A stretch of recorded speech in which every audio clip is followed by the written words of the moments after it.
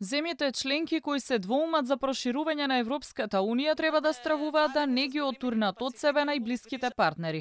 Оваа порака од Скопје ја испрати еврокомесарот за миграција Димитрис Аврамопулос.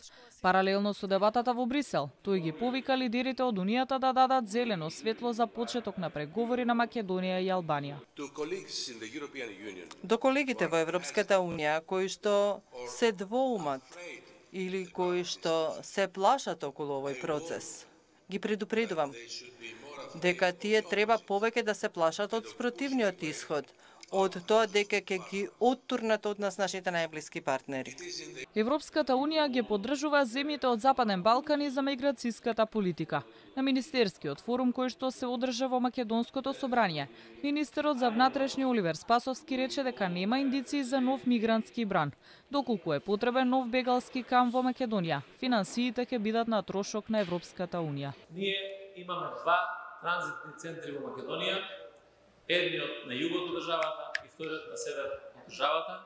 И тие два транзитни центри обстојуваат и ќе обстојуваат во евентуална било каква мигрантска криза. Ние немаме индици сега во моментот дека би можеле да имаме миграцијски текови какви што беа во 2015 Пораките од високите представници на Унијата на форумот ги слушнаа министрите за внатрешни работи од земјите од Западен Балкан илегалната миграција, организираниот криминал, трговијата со оружје и безбедноста на границите беа во фокусот на состанокот, за кој вела дека и во иднина е потребно да вложат заеднички напори.